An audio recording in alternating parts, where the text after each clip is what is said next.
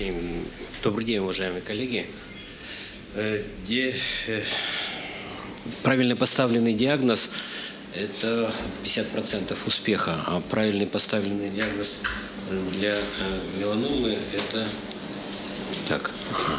Это, это еще выше. Если измерять клинические измерения новообразования кожи невооруженным глазом – то чувствительность и специфичность составляют примерно 60-65%, а применение дерматоскопии увеличивает этот э, метод как специфичность и э, и, чувствительность метода. Клинические формы, какие существуют, э, какие существуют клинические формы для меланомы? Наиболее часто встречаемые, это поверхностная меланома.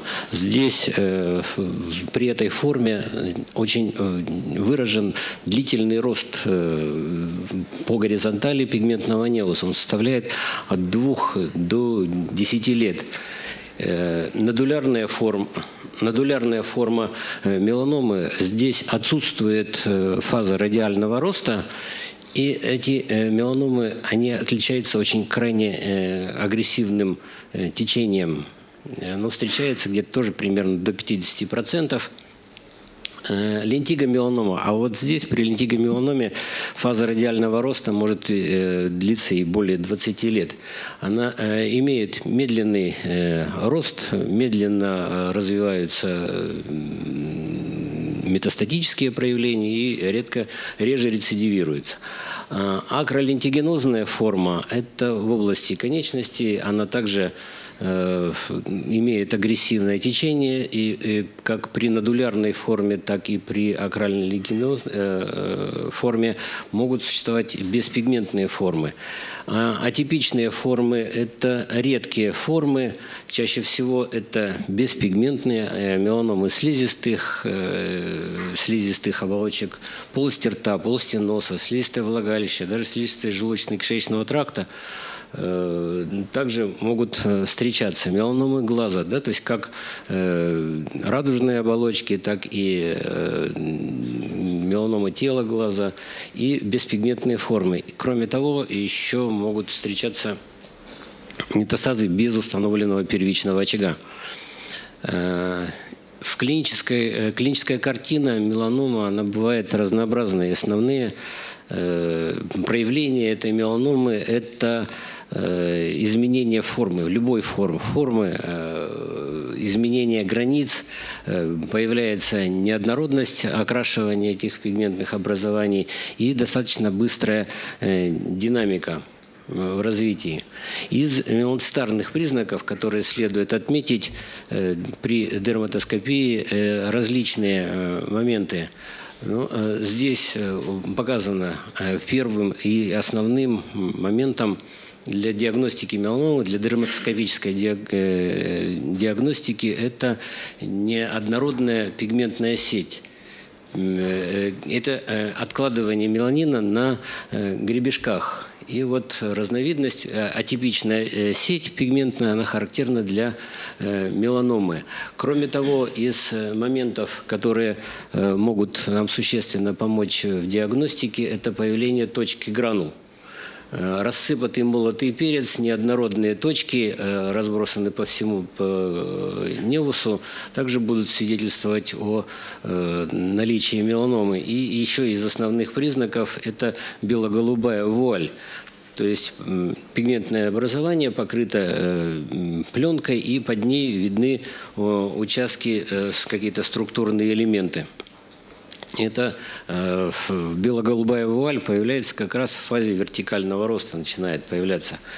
Еще один из моментов диагностики дерматоскопической – это очаги регрессии, ну, то есть не просвечивания, но они несколько отличаются от бело-голубой вуали – Э, важным моментом в дерматоскопической диагностике это э, изменение сосудистого рисунка. Появляются клубочковые изменения, да, то есть в виде штрихов, палочек и, и, и так далее.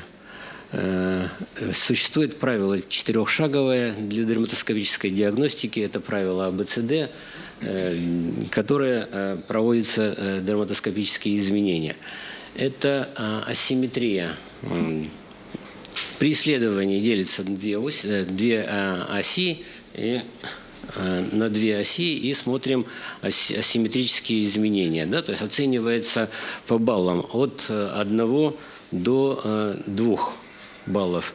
Следующее – это э, второй шаг измерения э, границы. Это анализ э, мысленно дел, делится на э, 8 секторов и оцениваем каждый из секторов, и поэтому оцениваем от э, 0 до, э, 8, э, до 8 баллов.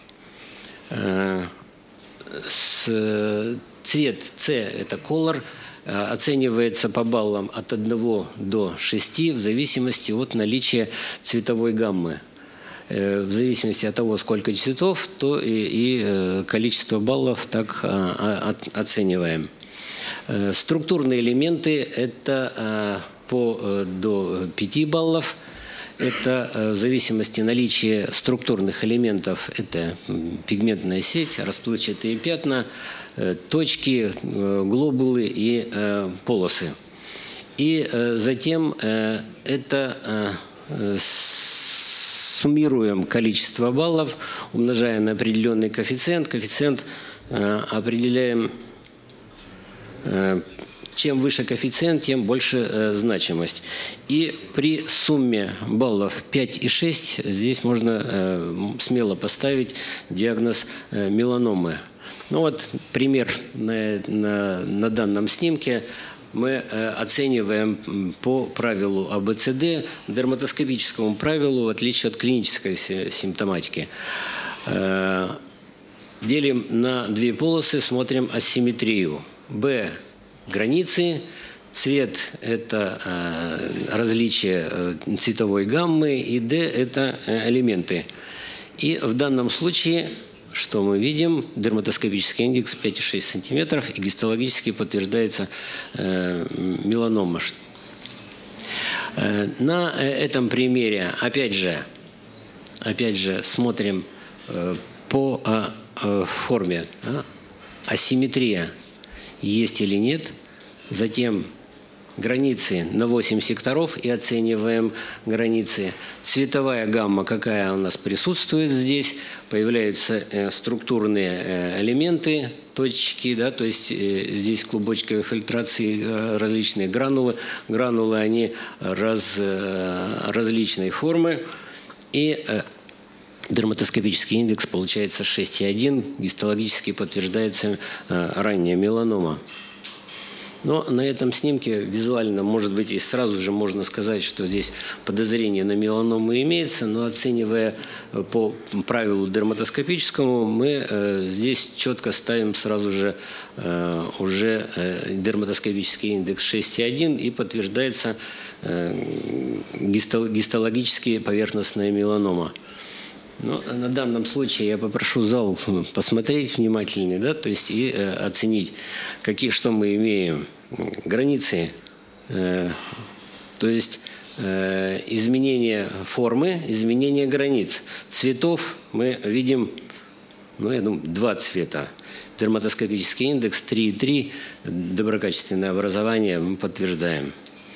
В данном случае э, здесь э, изменение э, формы, небольшое здесь изменение границ, но имеются структурные элементы, вот эта вот пигментная сеть неоднородная э, оценивается.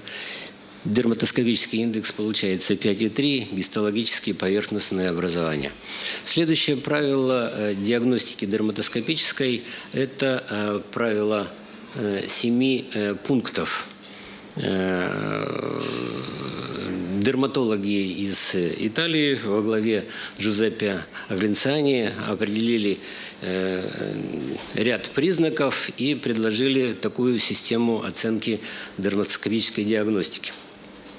Она также оценивается в баллах, но э, здесь по баллам оценивается, по два балла оценивается это пигментная сеть, изменения, то есть это штрихи э, линии, Затем 2 балла оценивается как бело-голубая вуаль, через нее просвечиваются элементы.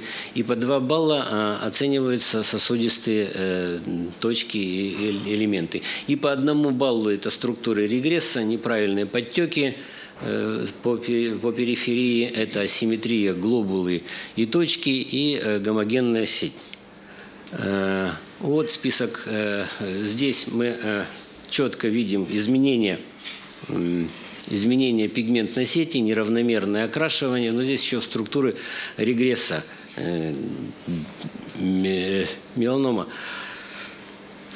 Бело-голубая вуаль – основной из э, элементов, э, подтверждающий э, дерматоскопическую диагностику меланомы.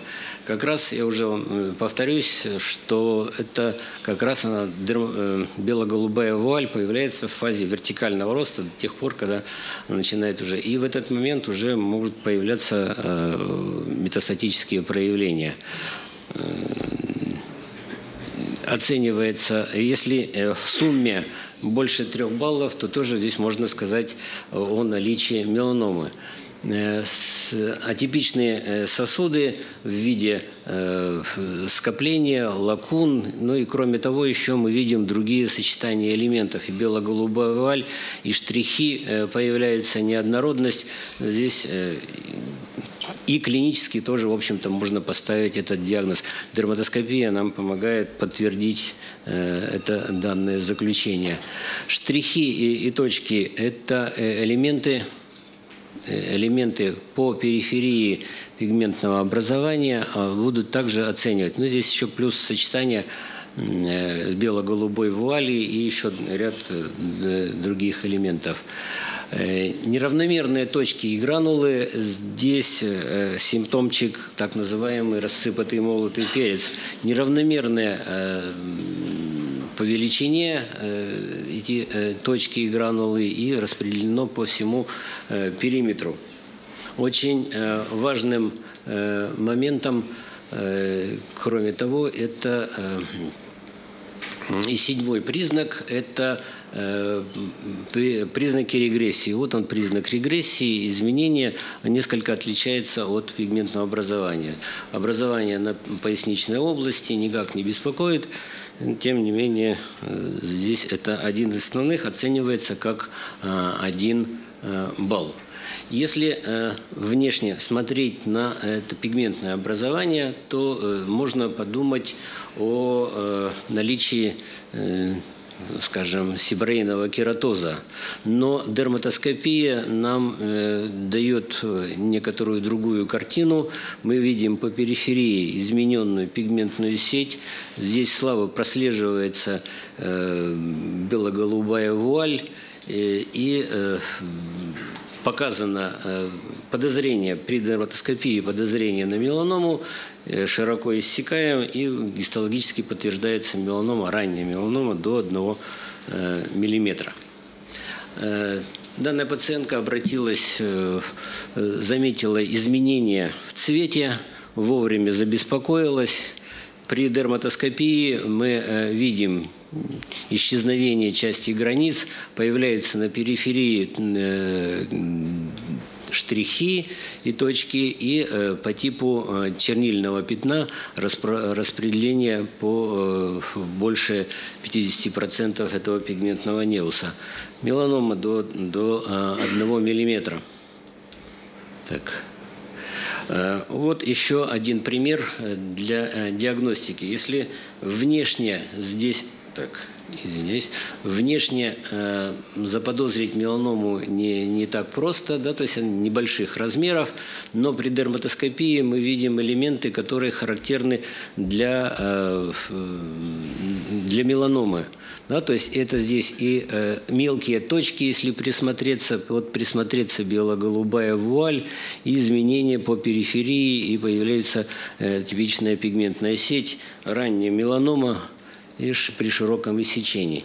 Иногда э, поверхностные формы меланомы, гипопигментированные формы меланомы, они могут выглядеть как, можно подумать, что это базально-клеточный рак, но при дерматоскопии мы уже видим не только сосудистые элементы, но и вот по периферии элементы часть бело-голубой вуали, и исчезновение границ. То есть здесь дерматоскопия нам очень помогает в ранней диагностике. И гистологически все это под, под, подтверждается. Очень сложна диагностика гипопигментированных образований – Э, есть и кроме э, дерматоскопического изменения есть еще дерматосиоскопия. Что это такое дерматосиоскопия? Это спектрофотометрический интрадермальный анализ. Э, посылается пучок света разной длины волны, и по отраженным снимкам делается 5 сканов, которые проецируются на экран монитора и делается оценка э, этих сканов. Э,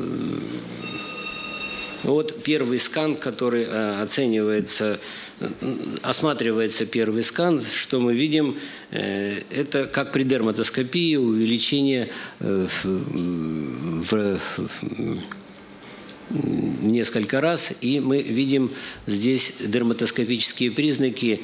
Можно увидеть и штрихи, и эти точки, но они не совсем равномерно распределены. Но э, следующий, э, э, следующие сканы – это скан общего меланина, э, который на, находится на поверхности этого пигментного образования – и скан дермального меланина, то, что заглядываем аппаратиком э, вглубь кожи, э, в зону э, эпидермиса. Следующий скан – это гемоглобина. Здесь появляются очаги измененные очаги, да, то есть большее содержание гемоглобина в, в, в слое в, в эпидермисе. И Четвертый скан, по которому оценивается, это э, наличие коллагенов. Ну, то есть это пример э, меланомы. Э, так.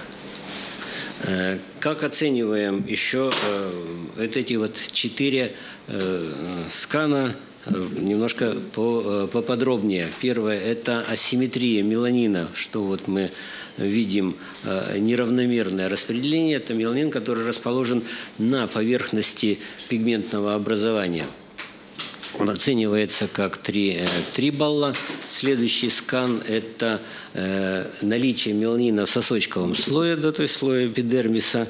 И по э, наличию меланина, чем больше меланина находится, тем цвет меняется. Красный цвет, здесь большее содержание меланина и неравномерное распределение оценивается как в 5 баллов. Сосудистые изменения, да, то есть вытеснение сосудов. Вот мы видим вытеснение сосудов неравномерное, и э, вокруг большее содержание оценивается как в 3 балла. Следующий э, скан – это э, значение э, наличия коллагеновых дыр. Вот они, коллагеновые дыры, и оценивается как э, в, один балл. Все это суммируется, и проводим оценку. И пример – Э, для э, пример э, исследования. Первая система, то, что мы визуально оцениваем по системе, здесь имеются все признаки асимметрии, неровности границ, и полихромия, и размеры образования больше 6 миллиметров. Э, дерматоскопические признаки по э, системе э, семи пунктов оцениваем. Имеется бело-голубая вуаль, имеются точки и гранулы, неравномерные глобы и участки регресса. Дерматоскопически это меланома. При дерматосиоскопии оцениваем э, результаты. Да, то есть первый скан – это наличие общего меланина, неравномерное распределение. Неравномерное распределение э, общего меланина, то, что э, в эпидермисе, и оцениваем как э, 3 балла. Общее. Э, следующий скан – это на, на примере это гемоглобин, то есть вытеснение сосудов, и коллаген. Кроме того, при сиоскопии можно выполнить и 3D э, э, реконструкции, где также будет четче видно э, содержание меланина. Да, то есть это дерматоскопический признак и пример дерматоскопии для доброкачественного образования. Здесь мы видим равномерное распределение меланина, а иногда, э, чаще всего бывает при поверхностных формах, э, общий дермальный меланин, он отсутствует, но здесь распределение этого меланина равномерное. Равномерное распределение сосудов и равномерное распределение коллагена э, по пигментному образованию, доброкачественное образование. Мы провели небольшой анализ дерматоскопический где э, пациентам, которым проведено было гистологическое исследование, сравнили э, с, с диагнозом, который был направлен по числу направлений. Дерматоскопический анализ на меланому показал 81% совпадений. При меланцитарном неусе 90% у нас получилось и э, при э, других э, образованиях. Ну и еще несколько слайдов, которые можно подтвердить, что дерматоскопия нам улучшает эту диагностику, но и здесь несколько слайдов показано. Мы видим и бело-голубую вуаль, изменение точек и гранул, ну, то есть по, э, по периферии изменение э, цвета полихромии имеется и черный рассыпанный перец. Гистологически подтверждается меланома. В данном случае э, диффузная бело-голубая вуаль, наличие и мелких точек – что э, не вызывает э, сомнений, э, что имеется здесь доброкачественная, доброкачественная опухоль.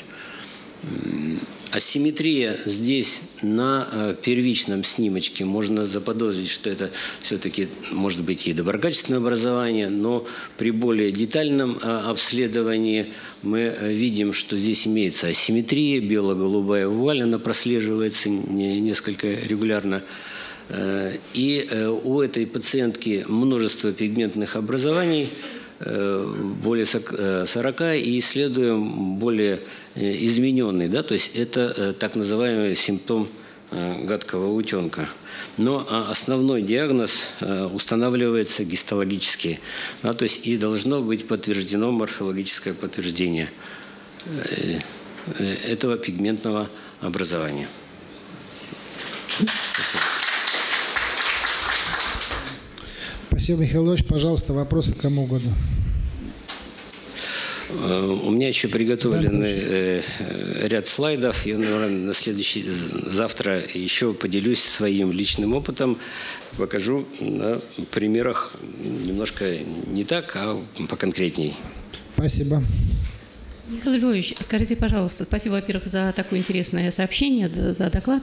Скажите, пожалуйста, как вы считаете все-таки, насколько необходимо, чтобы все врачи, которые занимаются проблемой, особенно диагностикой, владели дерматоскопией? Ну, а, во-первых, э, дерматологи должны э, владеть этой дерматоскопией, не только онкологи, потому что дерматологи являются первым звеном, когда появляется пациент приходит э, с, с жалобами определенными. Но, к сожалению, у всех дерматологов не имеется дерматоскопов. А дерматоскопия нам значительно улучшает диагностику, особенно при ранних формах меланомы. А, то есть если э, зрелую форму меланомы можем поставить визуально, не применяя никаких методов, ни, ни дерматоскопии, ни дерматосиоскопии, э, то э, ранние формы, что очень важно нам для диагностики в плане дальнейшего лечения, нам очень помогает. Спасибо, спасибо. Скажите, пожалуйста, а в зале есть э, дерматологи? Есть? Поднимите руку, пожалуйста. О, замечательно. Скажите, пожалуйста, а вы владеете дерматоскопией? Да.